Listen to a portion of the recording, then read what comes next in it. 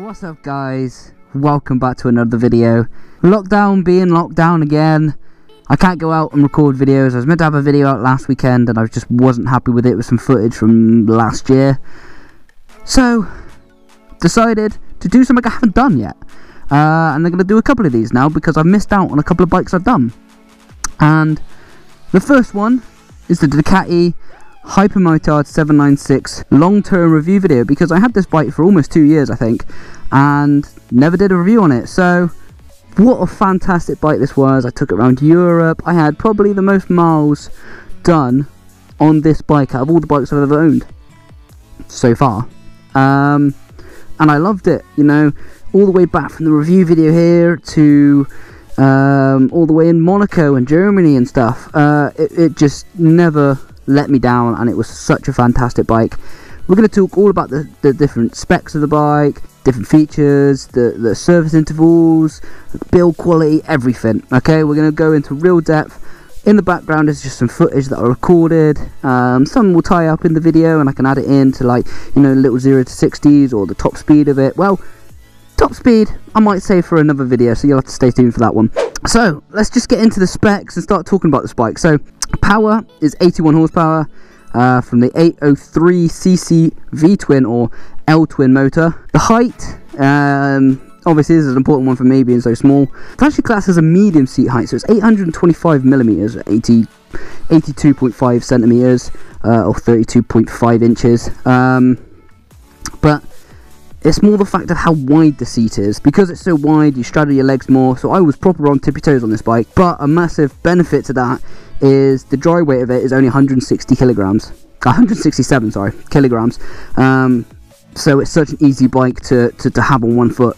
Suspension's not fantastic on this bike, or that's what I found was probably one of the most downfalls of the bike. So the front suspension was non-adjustable, uh, and you could adjust the preload and the, the rebound on the back. The rear suspension wasn't too bad, to be honest. It was more the front suspension I found was quite soft.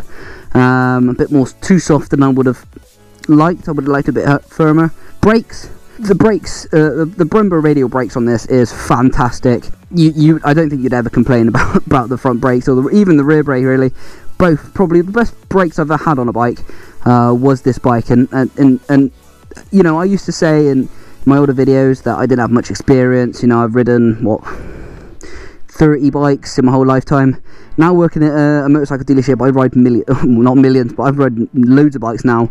And I can get a feel of uh, good and bad very much straight away. Um, another key benefit of this bike which I really like some people don't like I really like is the engine braking. The engine braking is so strong. Uh, as long as you're, you're rev matching as you downshift, God, it is fantastic and I love it. Something I love, that's, that's something about I love about V twins is that the, the, the engine braking is fantastic. Service intervals. So this this is going to be quite a big one. Um, people thinking of Ducati is going to be expensive because one of the main rivals for this bike, surprisingly, is an MT-07, which you know very cheap and service interval pretty good. They're not too bad on this, so it has been actually extended to 7,500 miles for every service interval. Uh, it works out about 200 quid uh, annually, um, which isn't bad at all. Really not that bad at all. It's when you get to the valve clearances, that's when it starts to get expensive. When I got, luckily I didn't have to do my valves, my valves.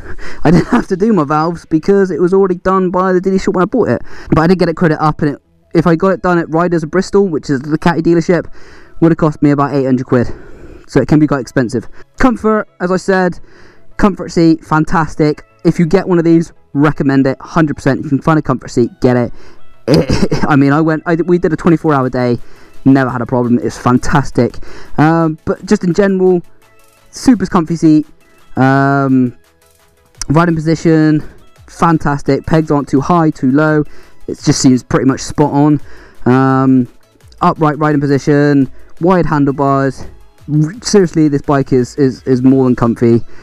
Uh, I don't think you'll ever uh, complain about the comfort of this one. One thing you might complain about though is the wind resistance. Uh, as you can see on the bike, there's no windscreen. Uh, you can get aftermarket ones. There is kind of the shape of it, you know, kind of diverts it a little bit. And you'll see in the clips, I've been on the Autobahn Uh, I've done plenty of mile, mi- uh, I've done plenty of miles on the motorway. Um, big open roads where you can feel the wind. The lot. I've done it all, and I, I, I I've never really had a problem.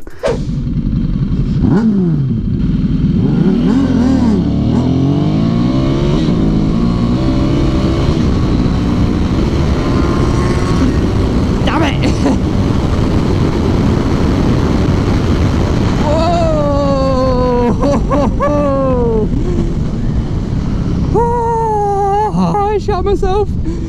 Reliability, probably one of the big ones. People think Ducati not reliable. Not anymore. Seriously, I mean that. They're not that bad. Hypermotards seem to get a lot of stick. Snowcat used to have one. Uh, Canadian motovlogger, uh, and he had nothing but bad. He had one of the new ones. Trust me, if you go on the reviews on this, they're all pretty good. Um, the only the whole time I had it, I had one incident where I thought it was a faulty thing. Really wasn't bad.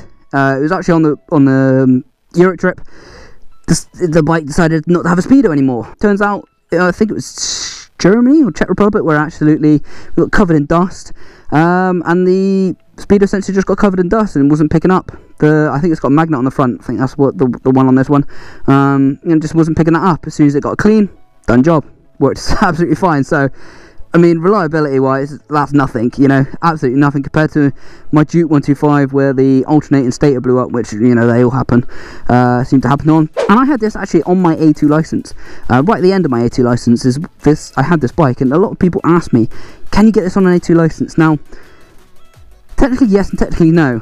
Um, a lot of people say, uh, because of the power to weight ratio, you can't have it. In my opinion, just fucking buy it.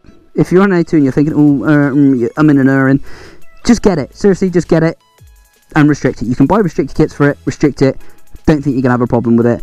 I was able to insure it. Everything else, never had a problem. So just just get one. If you're thinking about getting one on the A2, get one. Doesn't matter. I haven't restricted mine. Never did. Not gonna lie to you.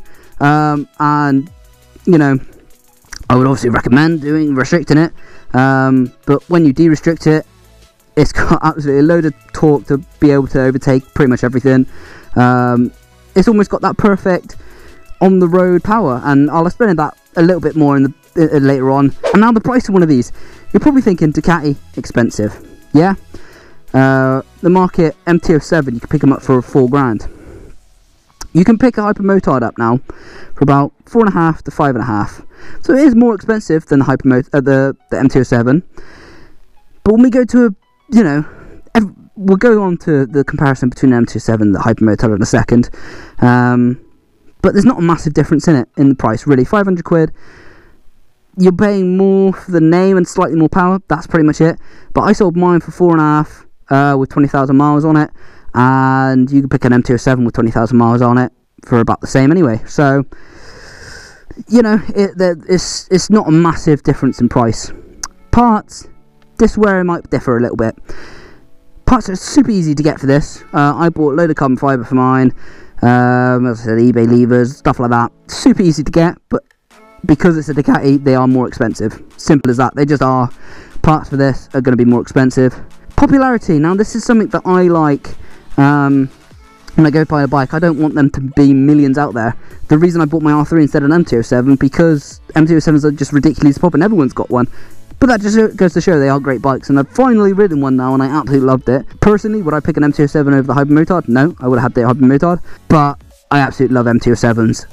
They're amazing. If you haven't watched my Instagram stuff, go follow me on Instagram. You'll see all the bikes I get to ride while I'm at work and things, and you know, we have some great fun over there. So go over there, follow my Instagram. Uh, I think we're almost we're heading over to 400 uh, 4,000 followers. It's mad. So go follow me over there, and I'll probably follow you back anyway. Um, the looks of things, you know, bikes, bikes for me definitely. I I I need a bike that looks amazing, looks lush. Uh, because if you haven't, if you if you buy a bike and you're walking away from it and you don't look back, you've bought the wrong bike. Simple as that. All right. If you're looking back at it and you're like, God, that's a gorgeous bike, uh, or you get, you know, other people looking at it, that's even a better thing.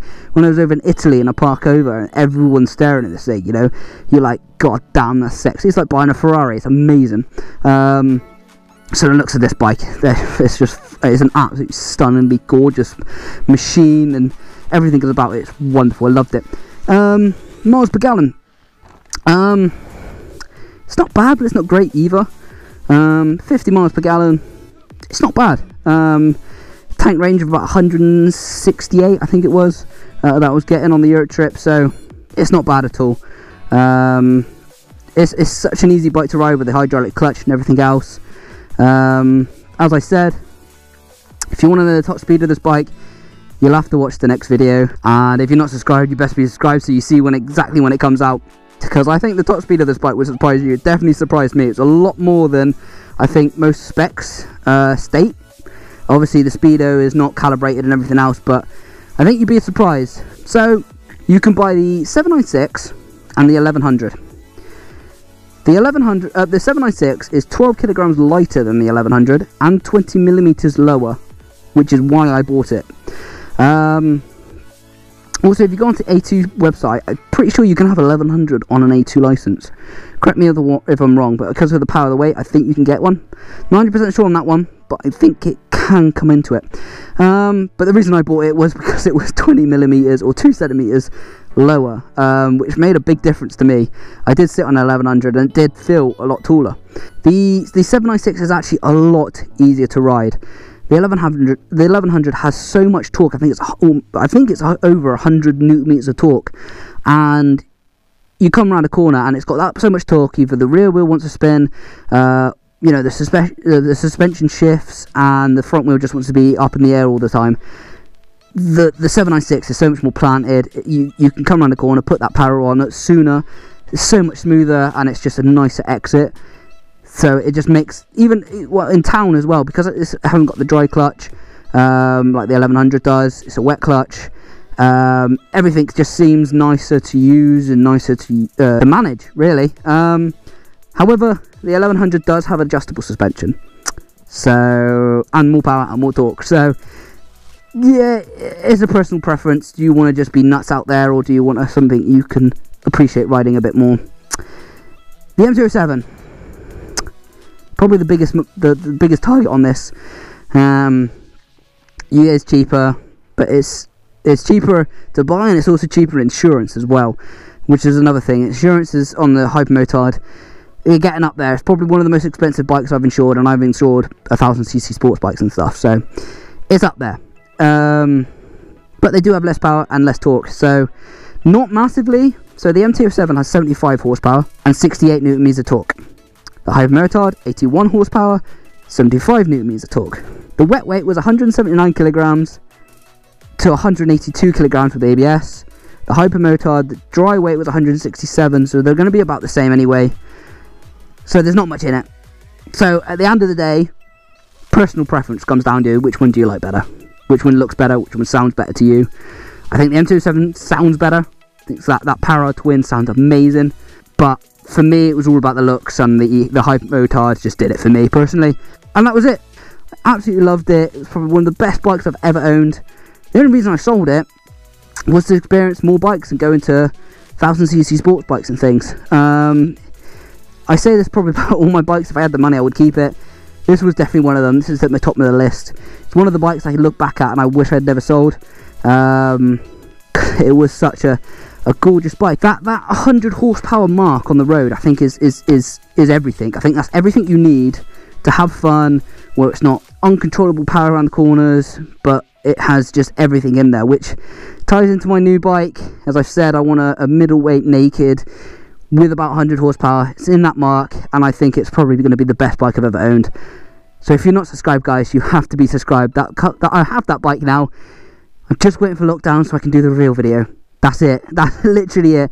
I have so many parts in my garage now piling up ready to you know start chucking on there doing a build series but I can't put them on there because I'm waiting to do the reveal video so I hope you can appreciate that guys and I'm sorry but I hope you're all staying safe if you missed the Hypermotard as much as I do make sure you hit the like button comment down what you would choose the MT-07 or the Hypermotard or the 796 or the 1100 let me know if this video has helped you buy one shoot me a message on Instagram, send me some pictures of the ones you buy, because um, I absolutely love to see them. Uh, and if you end up with my one, uh, I'm pretty sure the plate's still on there that says Mighty Midget on there. So if, if you manage to find it, that would be mint. Um, But other than that, thank you for watching all the way to the end as well. I really do appreciate that. As we said, we're chasing other other YouTubers to try and beat them to 10,000 subscribers. If we can do it, you know, it'd be a dream come true. So I really appreciate you guys watching. I'm sorry it's not the most exciting video, um, but as soon as this lockdown's over, we can get back out there and we can enjoy, hopefully, a gorgeous summer. So thank you again. I love you and I'll leave you. Peace.